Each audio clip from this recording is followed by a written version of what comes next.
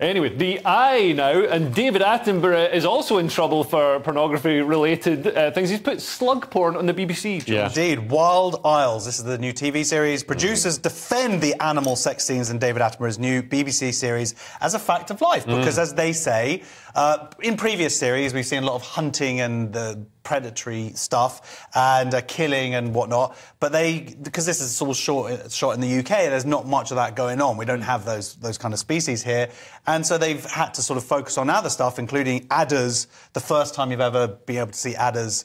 Um, Going at uh, it. going at it, and uh, That's the scientific yeah, term. be- best end. Supposedly they've got to hook, hooked Willy or something like that, Right. and then they, the woman, get, like the guy gets hooked in, and then the the, the lady adder, I believe that's a technical term, like s- swings him around. The literally. adept. We Yes. didn't ask Yeah. you to do all this research. Anyway, it was all yeah. It's basically brought back to my wedding night.